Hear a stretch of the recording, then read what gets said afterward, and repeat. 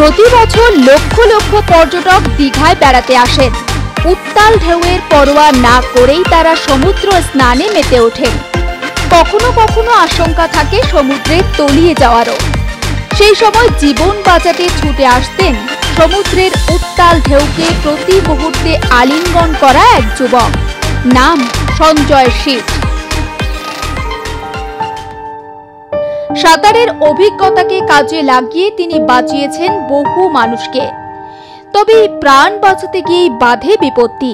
করোনাকালে দীঘা সমুদ্র সৈকতে নুলিয়া ওরফে সঞ্জয় এক পর্যটককে বাঁচাতে গিয়ে নিজে আঘাতপ্রাপ্ত হন।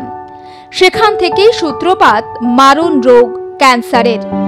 ওড়িশা, কলকাতা সহ বিভিন্ন জায়গায় তার চিকিৎসা করানো হলেও আড়াই বছর আগে করোনার সময় তিনি মারা যান। সঞ্জয়ের মৃত্যুর পর পরিবারে নেমে এসেছে অভাব, অনটন। ভাঙা বাড়িতে কোনো রকমে চলছে দিন যাপন।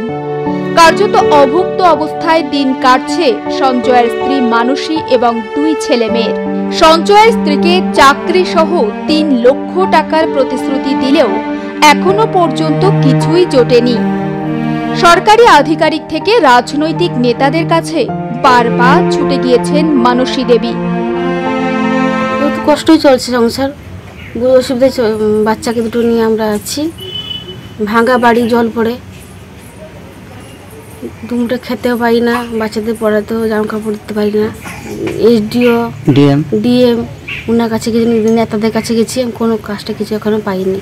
কি কি দেওয়ার কথা বলেছিলেন যে আপনি তিন লাখ টাকা পাবেন তো কাজটাও পাবেন। আমি এখনও এক টাকা পাইনি। দুটো বাচ্চাকে নিয়ে বহুত অসুবিধা হয়েছে বহু কষ্টই আছে আমরা। সঞ্জয়ের গোটা পরিবার বেঁচে থাকার জন্য লড়াই করছে প্রতিদিন। মিলছে না কোনো রকম সাহায্য। সরকারের দুয়ার থেকে বারবারই ফিরতে হচ্ছে শূন্য হাতে। পূর্ব মেদিনীপুর থেকে সেলিম আহমেদের রিপোর্ট আর প্লাস নিউজ।